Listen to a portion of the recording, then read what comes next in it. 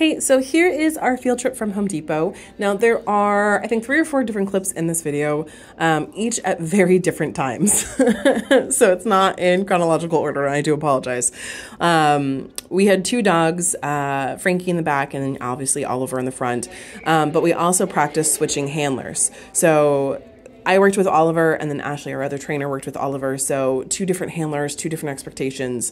Um, well, same expectations, but different uh, executions of those expectations um, to help Oliver learn. It's not always with this one person, but it's whoever is holding my leash. Um, when we first walked in, we got what we expected, which was a little nervousness. But as we were walking, he really opened up. He got a lot more comfortable. Um, he really was like, oh, okay, this is what we're doing. Now, we do like to work um, on like in hand, like the leash is in hand, and then we also do belt leash. I love the belt leash um, because what it does is it removes the extra communication that we as humans do with our arms, with our nervousness, with like guessing and judging, and it's it just simplifies the communication between dog and owner. Um, but he has to listen and understand tension and release. That is something that we'll go over in our one-on-one. But look how good he is doing going through like the garden center where there's a lot of sensory things. Um, he really did well. We also did some place work throughout this. Um, so I'll hop on at different times just to explain what's going on, but otherwise, much better the second time we did this field trip.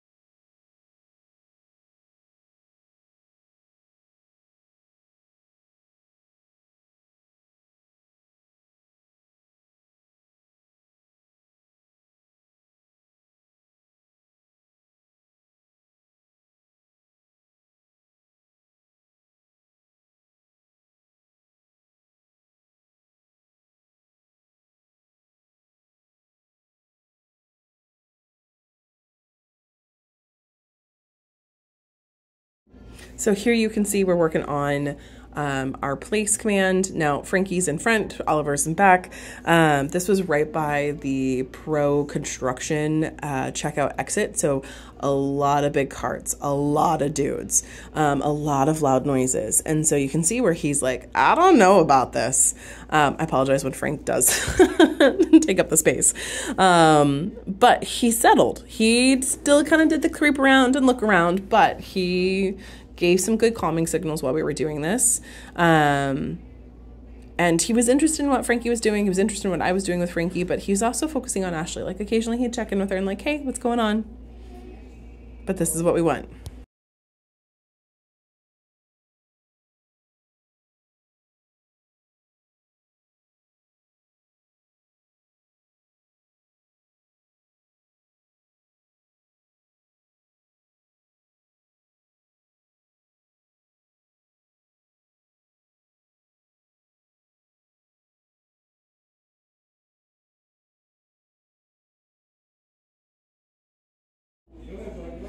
And then this is where we practiced um, walking against another dog. So Oliver does struggle with some of that impulse, um, saying hi to another dog. And this is where not only was I coaching Ashley, but also coaching Oliver on, you know, how do you get his attention, like right there. And he chooses to not look at the dog or chooses to look to the human versus going after what his impulse control is.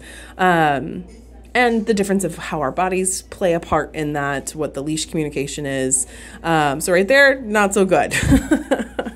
so, this is something that we're working on so that Oliver understands not only, hey, this is what's happening, but um, I also am coaching Ashley on what the different techniques are.